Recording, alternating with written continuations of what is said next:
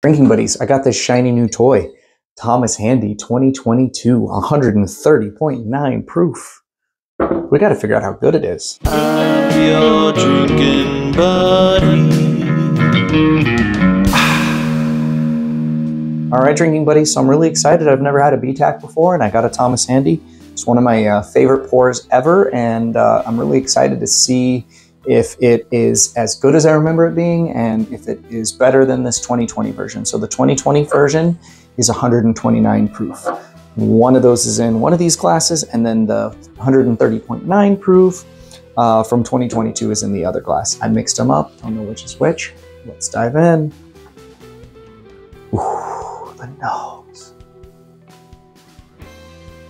The nose is cherries, cherries,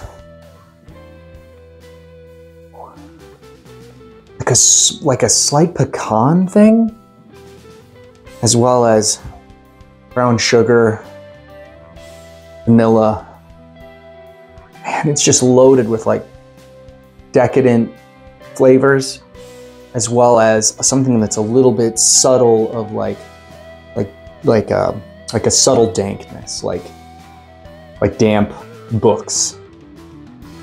But that's subtle. All the other like bright and awesome notes are at the forefront.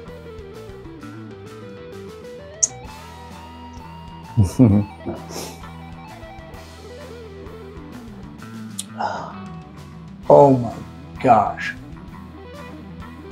Cherries, strawberries, just all the red fruits, brown sugar, bourbon vanilla. Really nice, really long finish. I love it. Love that pour. Um, don't know which that is, but the last time I had a handy, it was in a double blind that was sent by a fan, and every bottle in that in that lineup was a unicorn, and the handy handedly won. No pun intended.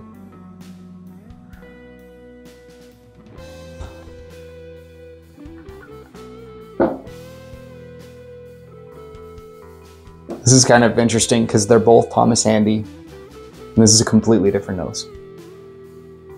This is way more bright and citrusy, and that like dank, like aged quality, like that oaky, like wet wood thing that I got on here is way more potent on here. It's it's way way like deeper. Yeah, just loving this nose. This is just a deeper, richer nose. Mm.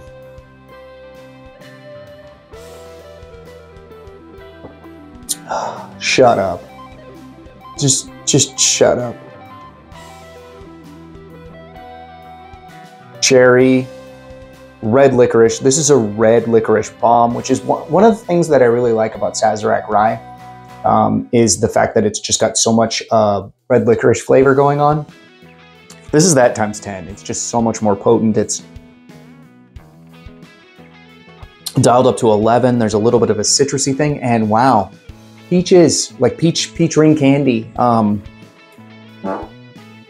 yeah, this is um,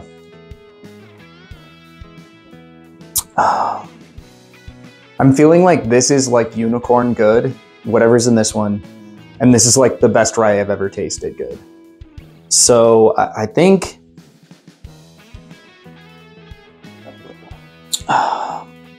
I I guess I'm just gonna hope. I'm gonna lean that this is hopefully my bottle since I only have this much left of this one.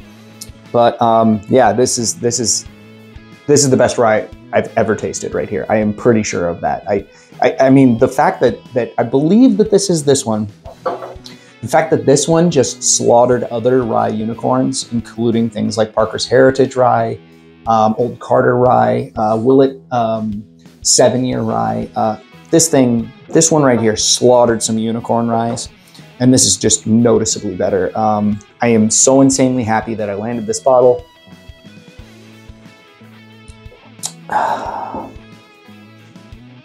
Wow. Yeah, let's find out.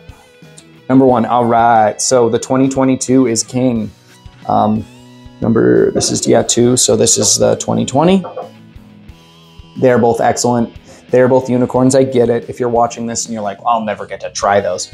But you can though. Like if you find a a, um, a whiskey bar in your area, um, you can usually, if you get the right whiskey bar, this is about a forty dollar pour. Um, I know that sounds insane, but it is worth it. Um, I will pay forty dollars for a George T. Stagg, for a William Weller, for a Thomas Handy, for a pour of those anytime I see them on a menu. Um, I mean, I know that sounds crazy, but I do. I see them, I order them.